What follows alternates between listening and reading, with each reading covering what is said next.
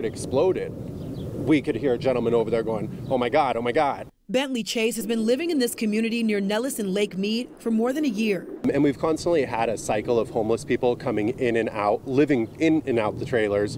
Um, they've been cooking meth. So he says when he saw flames and smoke pouring from the vacant lot behind his building, he wasn't surprised. He tells News 3 he and other residents have been complaining about the steady flow of homeless people living in those trailers for quite some time. This is what we have now. You know, it was a little bit too late.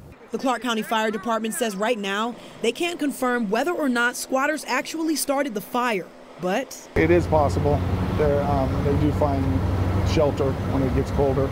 Chase says this fire came way too close to spreading to his home, and something needs to be done to stop these squatters from returning. Because I think it's getting pushed off because it is the east side of town. Well, if you want it to change and be a better place, we need more help. Who should they call? Who's accountable for kind of maintaining that to make sure this doesn't happen? Uh, I, I would say call Metro.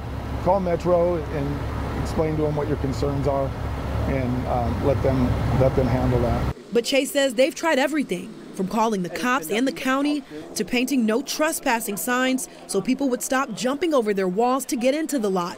But nothing's changed. Who do you think needs to be held accountable for this? The property owner does. He's had multiple complaints according to code enforcement. The police have been there numerous times. We've notified him numerous times. Yeah, and that fire broke out right behind the wall that you see here uh, in the background. Uh, now, we did try to reach out to the property owner, but we didn't have any luck yet uh, getting in contact with them. The good news here is that that fire did not spread to any other homes. Firefighters were able to get it under control and no one was injured. I'm reporting live. Gabby Hart, News 3. All right, Gabby.